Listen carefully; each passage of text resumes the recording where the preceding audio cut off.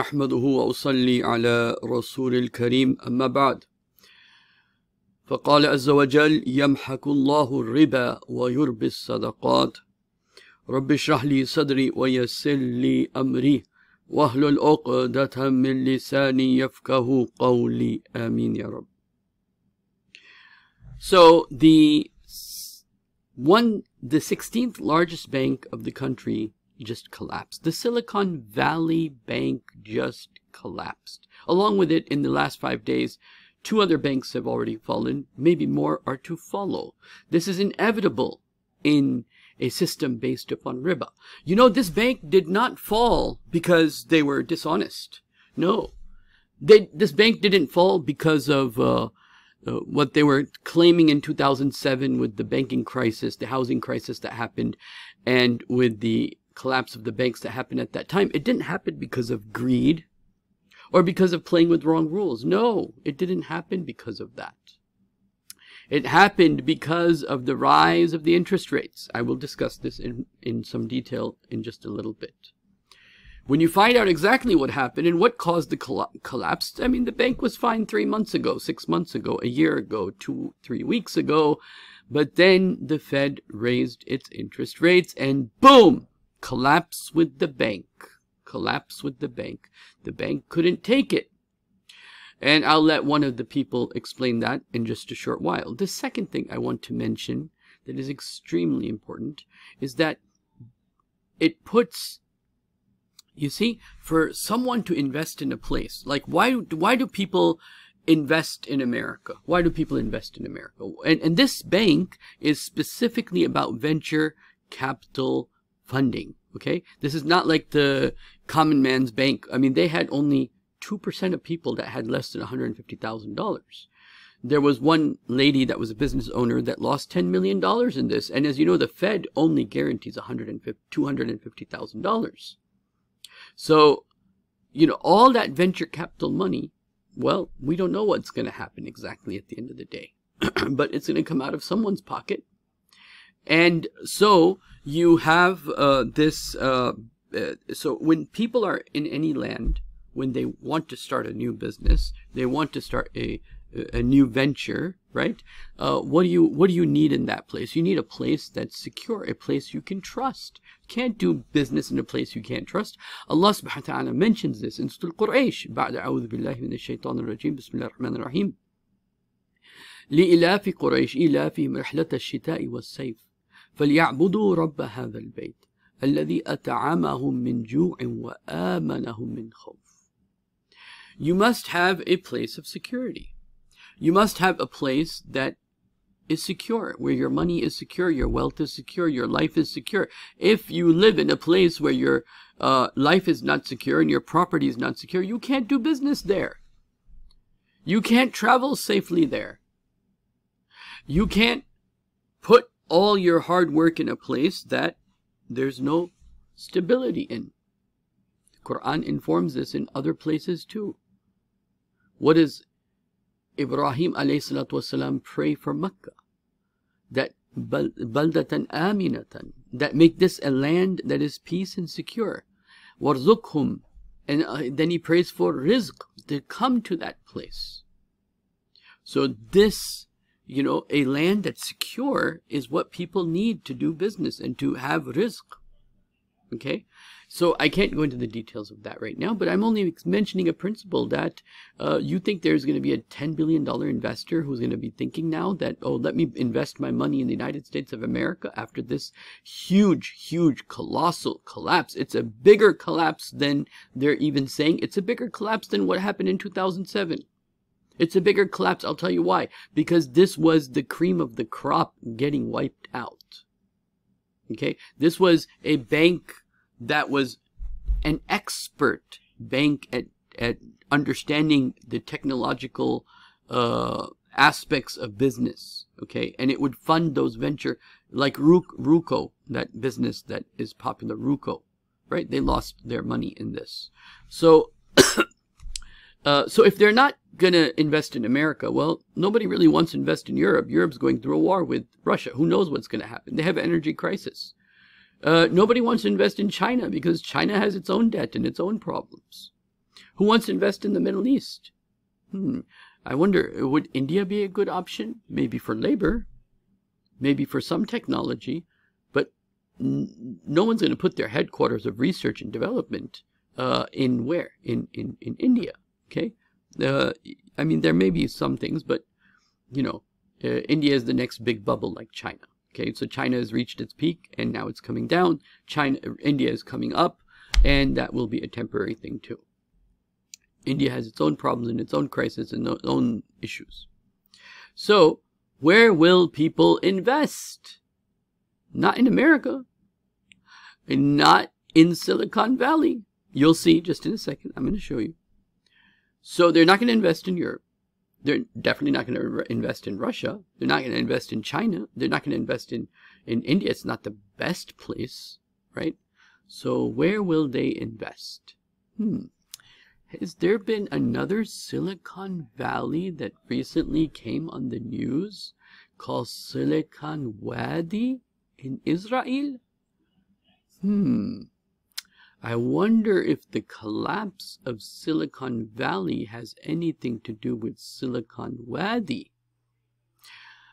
Let me, before I show you about Silicon Valley and the research and development companies in Israel right now, because Israel is the biggest startup venture capitalist country in the world right now, if I think. It's like in the top list.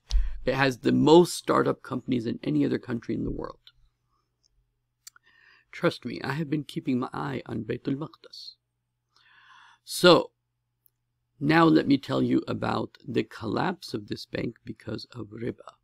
So let's get started with that. 1982, and they quickly became a prominent lender throughout Silicon Valley while catering almost exclusively to venture capital. Essentially, this became the startups bank where CEOs and businesses would go for funding. And for the last several decades, that worked out incredibly well until recently, and you're gonna want to follow along. In 2020, when interest rates were reduced to zero and stimulus measures were put in place, both banks and people were flush with cash, and almost all of that funneled back into the banking system which is where things began to go wrong. See, banks currently operate on what's called fractional reserve banking. This means that banks are required to keep at least 10% of their customers' money available at all times for withdrawals. Just imagine it like this. You give me your $1,000 to hold on to for safekeeping, but I could turn around and give 900 of that to somebody else who could give $810 to somebody else who could give $729 to somebody else. Under this situation, banks hope that enough people give them $1,000 deposits so that when the first person wants their money back, they'll have enough cash on hand to process that withdrawal. The benefit to doing this is that this allows their customers access to a much larger pool of money and they're able to earn interest on their deposits. But that also relies on everyone having faith that the system works and not all pulling their money out at the exact same time, which has started to happen. Now, to be fair, in most cases, banks aren't lending to other banks who lend to other banks who lend to other banks. Instead, banks often take your money, loan out a portion of it, and invest the rest in really, really safe and stable investments like US Treasuries. This ensures that as long as those treasuries are held to maturity, the bank gets a nearly guaranteed rate of return, customers can be made whole, and everyone wins.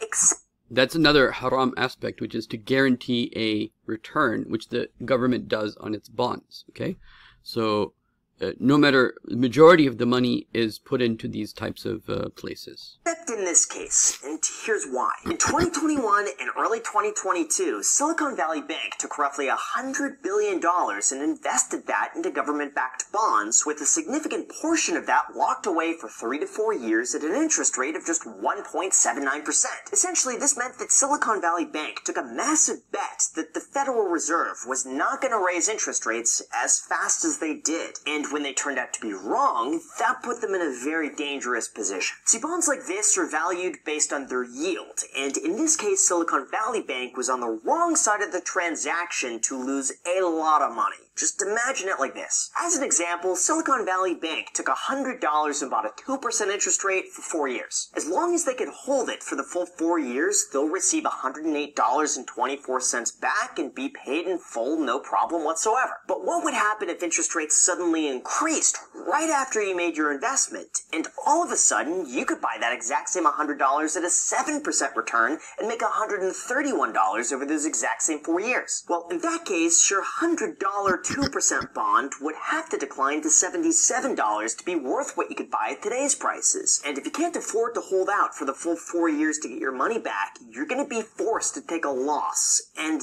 that's what's starting to happen. Now, normally, banks would have enough capital coming in from a variety of sources to cover customer withdrawals. But in this case, Silicon Valley Bank's. If it wasn't a bank, this would be known as a Ponzi scheme. I'll tell you what a Ponzi scheme is. A Ponzi scheme is that you are surviving because more and more investors are bringing in money and you're using the money of the investors, the new investors, to pay the old investors. Okay? So you're using the new money to pay the old people, and this is what's keeping you afloat. The modern banking system cannot keep afloat without this Ponzi scheme. This is why they try to get banks try to get new customers, right? And so they're trying to get new customers so that they can pay the whatever that they need to pay. And then they want to take 90% of your money and loan it out to other businesses or put it in other investments. So they're only required to have 10% of your actual money uh, in the banking system. It doesn't even have to be in that branch or that bank. Um, okay. So let's now continue customer base are mainly technology companies which have seen significantly less funding. And that means that their companies are forced to take more money out of the bank to pay for their own expenses. Essentially, Silicon Valley Bank severely misjudged the size and pace of the Federal Reserve's rate hikes while assuming that the venture capital market would continue to stay strong. That left them in a situation where they locked too much of their money away in one specific asset that yielded too low of a return. And that occurred at the exact same time their customers began with withdrawing more money than they anticipated. This, of course, is where the dominoes begin to fall. On Wednesday, March 8th, the company announced that they would be selling off. And what has happened here at the local level can very, very easily happen at the grand scale a third of their ownership in an effort to raise $2.25 billion. This was done in response to them being forced to take a $1.5 billion loss on a portion of their bond position, which was done to bring enough money back to the bank to be able to continue processing withdrawals. The problem, however, came on March 9th when word got out that the company could potentially be facing insolvency issues, and as a result, their stock price plummeted more than 60%, making it unlikely that the company would be able to raise additional capital to help plug the loss At that point, the entire situation devolved into a full-scale panic. It was reported that their CEO had been calling clients to assure them that their money with the bank is safe, while startup founders had been advised to pull their money out as soon as possible, just in case. But overnight, things got even worse. On the morning of March 10th, Silicon Valley Bank announced that they had failed to raise capital and instead were looking for a buyer, meaning they quite literally ran out of money, had more withdrawals than they had cash on hand, and were looking for anyone who could potentially take him over. Unfortunately, though, that seems like too little too late, because just a few hours after that, Silicon Valley Bank was shut down and closed by regulators with the message that all of the bank's deposits have been transferred to the new bank. Of course, you might be thinking to yourself, FDIC insurance exists for a reason, and they should be able to recover up to $250,000 almost immediately.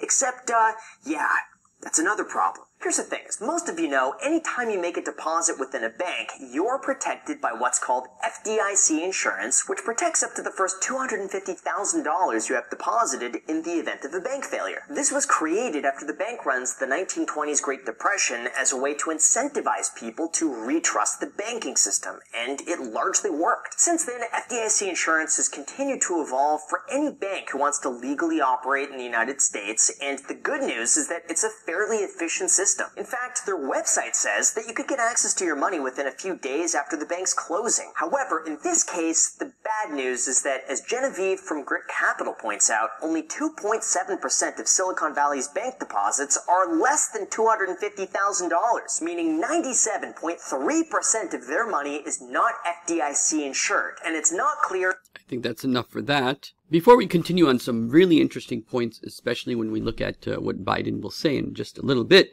I want to change the topic just for a little bit and tell you this narration of the Prophet sallallahu. The pro and I'm just I'm not going to do the Arabic today. I'm just going to do the English, so it's easy. So when you see in Mecca holes or channels that have been dug out in another narration inside the mountains, and you see buildings surpass the top of mountains, then know the command of the hour. Now, what's the Arabic word for the hour? Anybody know? Sa, the hour.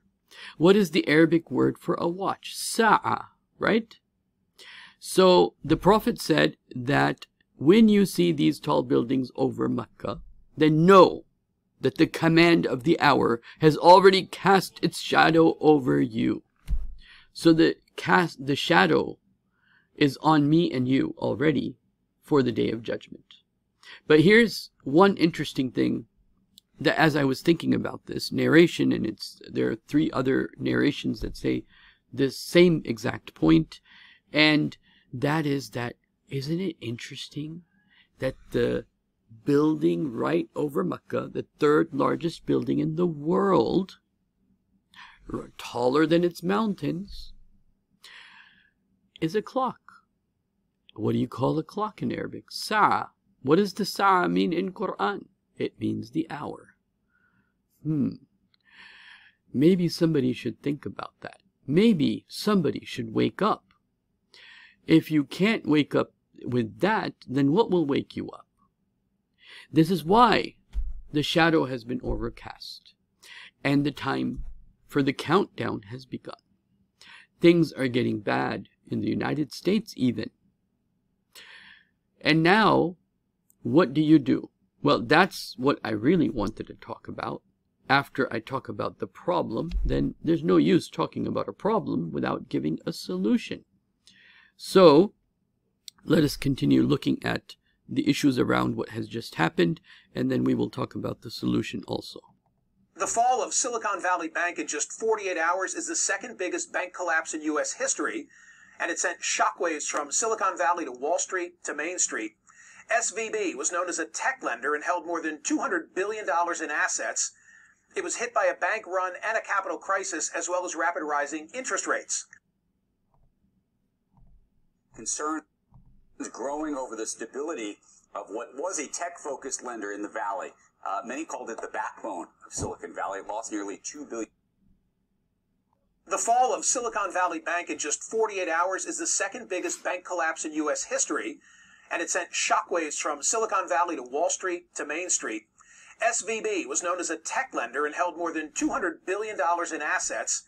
It was hit by a bank run and a capital crisis, as well as rapid rising interest rates. The failure sent bank stocks plummeting. Customers withdrew a whopping $42 billion in deposits by the end of Thursday. In Massachusetts, customers were turned away from accessing their cash and were told to come back on Monday. Deposit. So it's such a big deal that I think trading right now has been halted in the stock market for some time. but let's now listen to Biden and how he was, you know, you, you understand that Biden's a puppet, right? So, I mean, he's, he's gonna come and say, oh no, the banking system is all fine and there's no problems and, you know, I got my team to take care of all problems and we're good to go. So you'll see this, uh, in Biden saying this right now. Your deposits will be there when you need them. Small businesses across the country, the deposit accounts at these banks can breathe in two days. Americans can have confidence. Today, thanks to the quick action of my administration over the past few days, Americans can have confidence that the banking system is safe. America's going to have confidence. Subhanallah. Okay, you know, that's an interesting punchline. Your deposits will be there when you need them. Small businesses across the country, the deposit accounts at these banks can breathe easier knowing they'll be able to pay their workers and pay their bills. Notice how he says small businesses, meaning less than 250,000. And their hardworking employees can breathe easier as well. Last week, when we learned of the problems of the banks and the impact they could have on jobs of small businesses and banking system overall, banking system overall, I instructed my team to act quickly to protect these interests. They've done that. They've done that. On Friday, the government regulator in charge, the FDIC, took control of Silicon Valley Bank's assets. And over the weekend, it took control of Signature Bank's assets. Treasury Secretary Yellen and a team of banking regulators have taken action, immediate action. And here are the highlights. First, all customers. No need to go into that, but uh, you get the point, right? This was such a big deal that they have to get the president to come out and say something about this. Well, it is a big deal. And uh, he, he should have come out and said something about that because it would create panic otherwise. And, uh, but what's the real lesson here? The real lesson here is yamhakullahu riba. Allah will destroy riba. Fa'zanu, know it. Biharbi min Allahi wa rasulihi.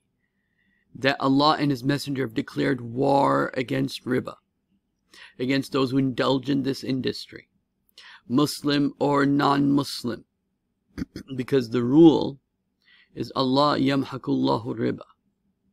Allah will destroy and blot out the system of riba. So, if Allah and His Messenger at, are at war, they are at war with those entities that are rebelling against Allah and His Messenger. Sounding the alarm bell about what happens to the book value of banks when rates get, get high. Just what, what are what are your thoughts? They're talking about interest rates here, and this is actually a very important discussion. And even if it's boring, it's worth going through to get even the little bit of gems that you can get through it. Um, I'm just going to let them talk, and uh, and if you get parts of it, that's great. If you don't, that's okay. This is a little bit more technical conversation, um, but uh, I'll put. Uh, we'll do parts of this, okay? So they're talking about interest rates and what's happening and how the domino effect will uh, take place. And they're also talking about quantitative easing, which is also has to do with interest rates, okay? Well, no, real bank analysts like Dick Bove or, you know, Mike Mayo, they understand rising rates cause book value to go down. And when rates rise a lot, as we just saw with Silicon Valley Bank, then you have market risk and that market risk has turned into credit risk, and the bank had to be taken over. And this all goes to the feet of Jerome Powell and the members of the Federal Open Market Committee because they did this. There's nothing wrong with that bank. There was nothing wrong with Silicon Valley Bank six months ago, three months ago, and now they're dead. And by the way, shareholders lose everything. Creditors of the holdco may lose everything because they took over the bank so that means the parent holding company, Silicon Valley Group, which is what most investors uh, know, uh, is no more. So that the chart that we're showing, I think, is from uh, yesterday of the stock going from you know 600 a year ago to around thirty dollars. Is it confirmed? You know, now that's been taken over by the FDIC, is is that a zero? I don't know that it's necessarily a zero. There may be some recovery for the creditors. I don't think for equity, though. There's rarely any recovery for equity in a failed bank holding company. You know, the vendors are lucky to get paid. The FDIC, remember, the waterfall with a bank is different. They will pursue repayment for all depositors, whether they're insured or not. And they will pursue third parties. They are a receiver, just like a receiver in a federal court. And so they have broad investigative powers. But when you see them setting up a bridge bank, this new bank they set up this afternoon, that means they didn't have time to sell the bank. They literally had to stand up a, a new bank with a new balance sheet and they convey all of the assets into that vehicle that they either want to protect or, you know, eventually sell. And then the remainder stays in the old, old, the old bank, the estate of the bank, and all claims, everything gets killed in the receivership. So. And, uh, so are all depositors going to be made whole? I know there's a, Yeah. a- officially okay, so yeah, officially uh, only up to a quarter million, two hundred fifty. So I'm going to forward some of this because it's not that important. What's maybe more important is going to be some of this discussion that's going to happen here. and there is a T account there that shows you the progress of the receivership. The larger depositors want to blow back creditors. No. And I think if you're an equity holder of the bank, you are probably looking at a dead loss. Nothing wrong with this bank. This bank failed because they didn't fully understand the implications of the Fed's actions, especially quantitative tightening. And Quantitative tightening has to do with interest. now, you know, a good bank is gone. It, this shows you the, the downside of quantitative easing, the destruction that the Fed's. Quantitative easing, again, has to do with interest rates, specifically when the banks are closed. and insensitive policies are causing. The Fed should have known that when you concentrate all of the risk in the banking sector and the bond market into three points in terms of coupons on securities and loans, and then you move the market 600 basis points in terms of interest rates, you're obviously going to have a problem. A first year banking associate can figure this out without a calculator, you know? But the Fed governors don't seem to understand these things. So we're paying the price for that. Right, and for folks who say, "Oh, a bank failed," I know what happened. They made bad loans. People couldn't No. pay back those loans.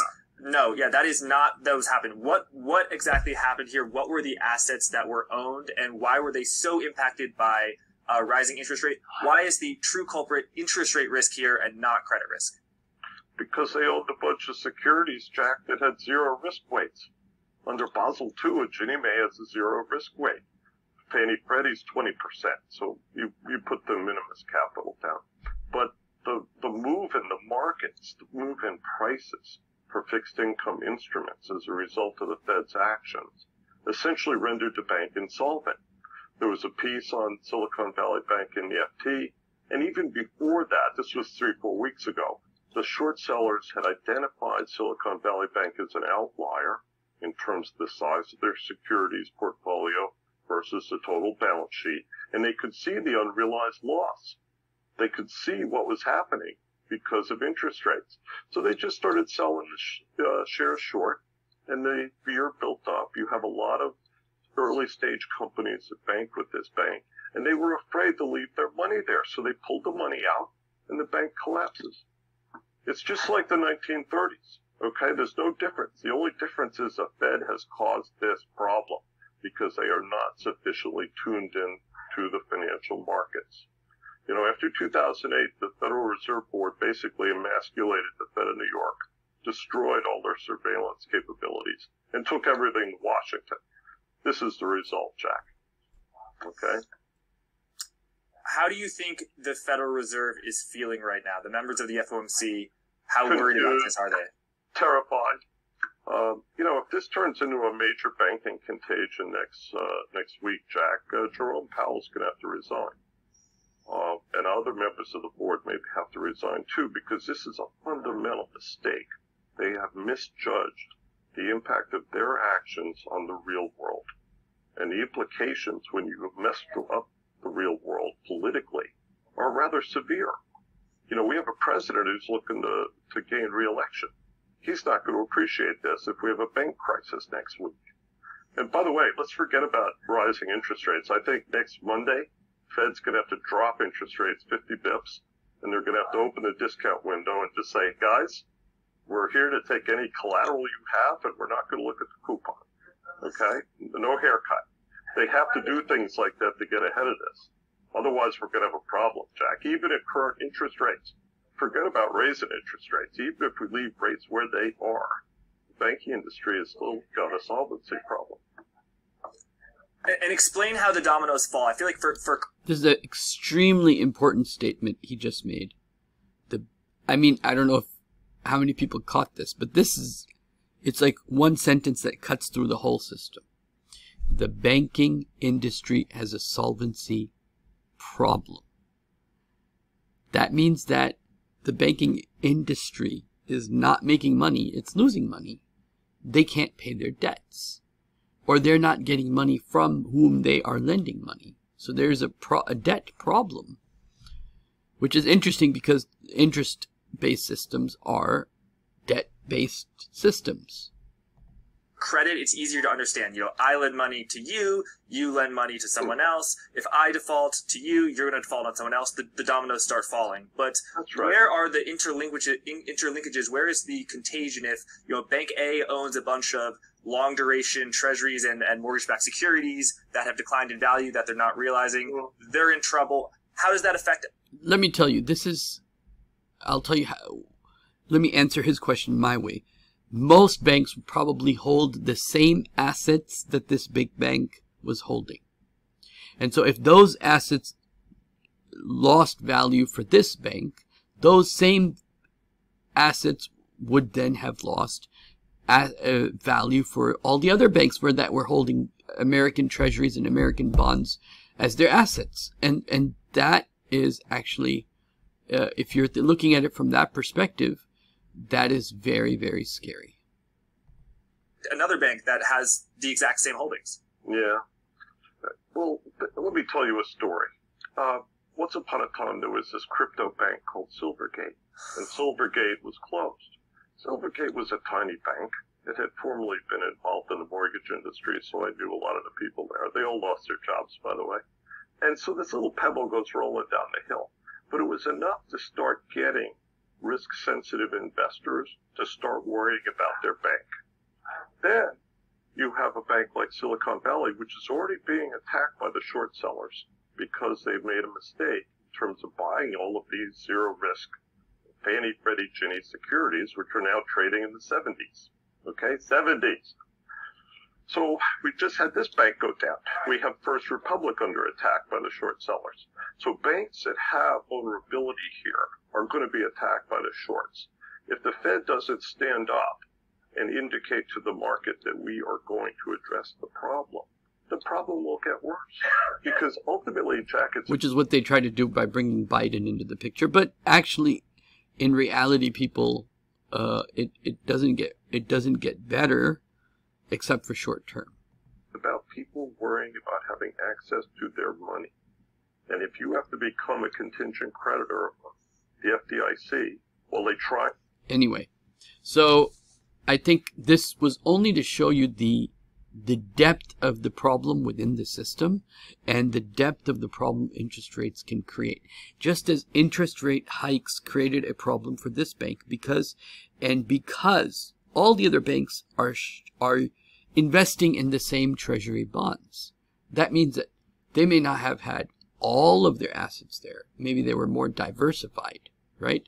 But anyone that was investing in the treasury bonds, which is very, very common. Uh, hardly any bank would have not have done that. Uh, and, and anyone that would have done that is in loss today for that particular investment. So this is where the banking system is in, in the US. So the point here is that, of course, the system, the banking system is going to collapse. The Prophet, I mean, the Quran says so. And so, what do we do now? you must invest in gold and silver, real money, the money of our Islamic law, the money of Quran, the money of the Muslims, the early Muslims, the money that actually has intrinsic value. You must invest in that. You must invest in and you must have cash at home. So if there's a collapse, well, you'll need some cash. You can't have all your cash in the bank. That's going to be a catastrophe if something happens. Like this bank just collapsed in overnight and you can't get your money back. And so, you know, you gotta keep some cash at home or somewhere hidden. You have to do that and you have to invest in gold and silver in commodities in uh, in things that will hold value when the whole system has finally collapsed because it's going to collapse why because they're doing something against against what Allah has taught every single people of the book okay and now it's reaching a peak and now that same system is being used to crash it from within so it's very, very important that you take this seriously and you take this sign seriously and you take the sa'a that's over Mecca, the clock that's over Mecca, the hour. You take that very seriously. It's very important that we understand that the end of times have already arrived. The end of times have already arrived. I mean, you, if you know, I wish I can go into details about this, but you know, there's a hadith that that indicates that indicates World War One. There's a hadith of the Prophet sallallahu that indicates Saddam Hussein.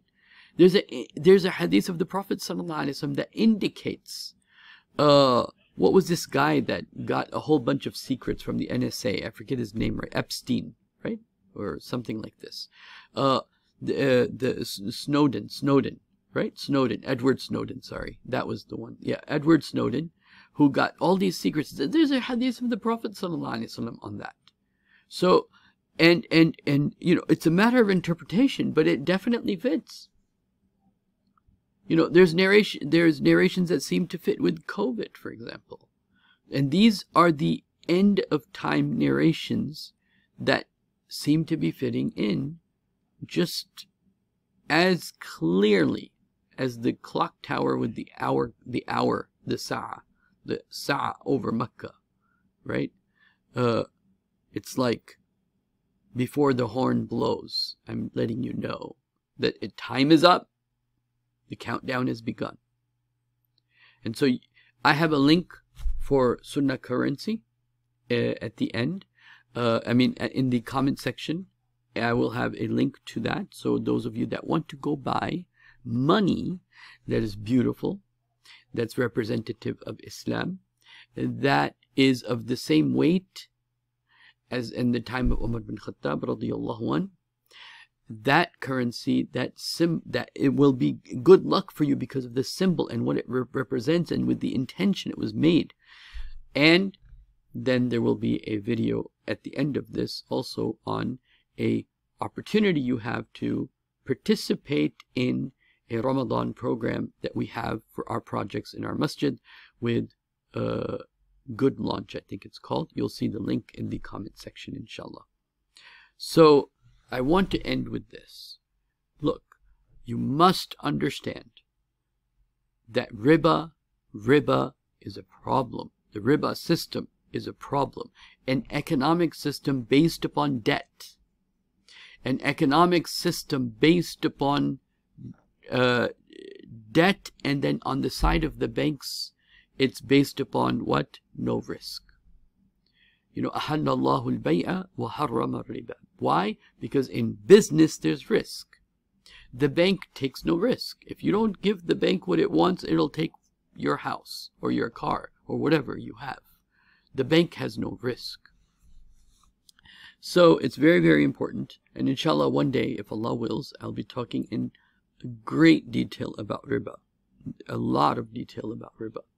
But it's very important for you all to see this as a sign. Muslims in America and then Muslims in the West specifically see this as a sign that they need to start getting ready. They need to start putting their cashes in. You need to put your cash in your house. You can't put all of it in the bank. You can't. And you can't trust the system. Okay, this is one of the problems the, uh, one of the signs of the day of judgment that you'll trust those things that should not be trusted. And what are the things we trust most? One of the things that we trust the most is the banking system. But the banking system is going to collapse. And if you're not prepared, well, if you're a Muslim, you should be prepared. You should be prepared because the Prophet told us. The Prophet is trying to save you from losing all your assets when everything finally collapses. So, please go to the Sunnah currency site and buy those. They look more expensive, obviously, because, you know, they're our own design and our own uh, weight and everything, so it's a little bit more. But it's definitely, definitely, when you buy it and put it in your hands, you're going to feel like it was worth it, inshallah ta'ala. You'll see that. you know, just buy a few in the beginning and before you do the big order, just buy a few and then you'll see, inshallah. You'll see. You'll love it. And you'll want to buy more and more. So don't trust this riba system. Don't trust paper money. It has no value. Okay? Don't trust this system. Don't put all your money in uh, the banks. Put some of it at home. Okay? put a large percentage of it at home that you can survive on the cash at your home if there if there was a collapse. You can at least get somewhere safe with you and your family and that you're able to eat and then buy things that are going to actually have value, you know, and uh, maybe I'll do a video on that one day too. Things that you can buy that will have value.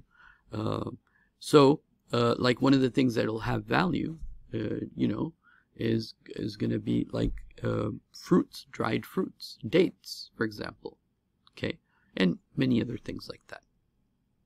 So, inshallah ta'ala, I will uh, end here, and hopefully, please share this with other people, and uh, uh, and so that other people can also be aware that they need to get ready for this collapse. Now, uh, I will end by this is also a perfect setup to create a situation where the people who are the Zionists, uh, people of who claim to be associated with Bani Israel, the Yahud, that they then will be leaving this country, which is what they uh, part of the plans that they have.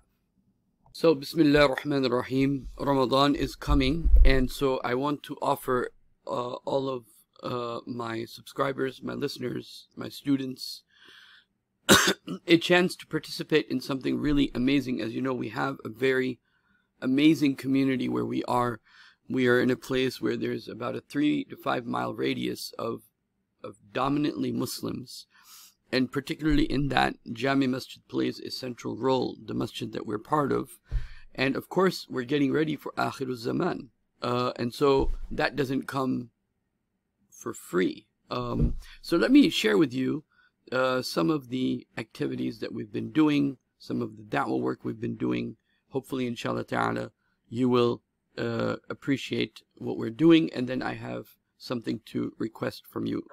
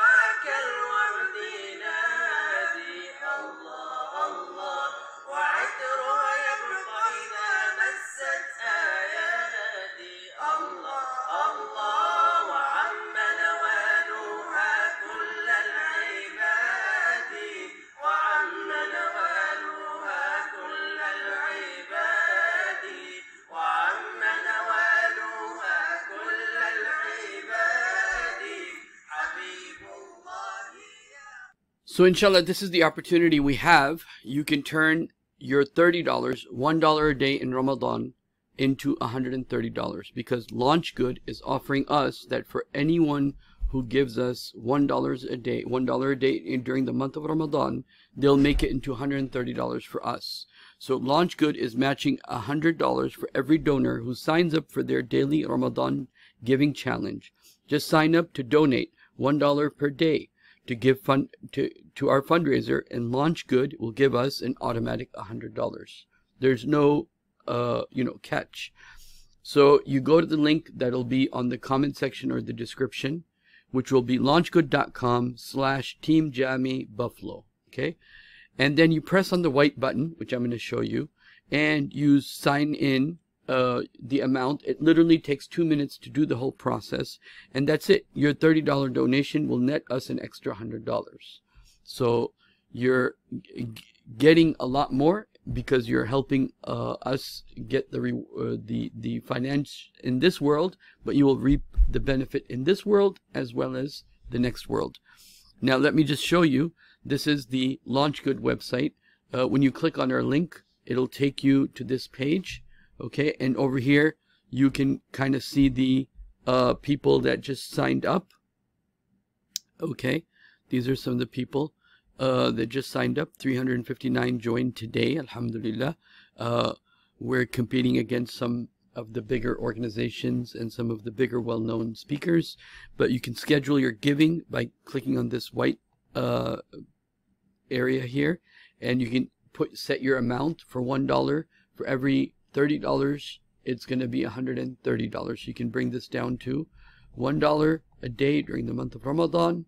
Okay, and you click next and uh and so please definitely do that okay so please do that the other thing i want to say is that uh we're a very active community if you are someone who's serious has a family who's worried about akhirul zaman and wants a to be in a masjid that's strong in da'wah strong on helping the youth as you saw from the video if you're someone who wants to be eh, in a place where you can study the deen on a daily basis, if you want to be in a place that's getting ready for Akhirul Zaman, then definitely consider moving to our community in Buffalo.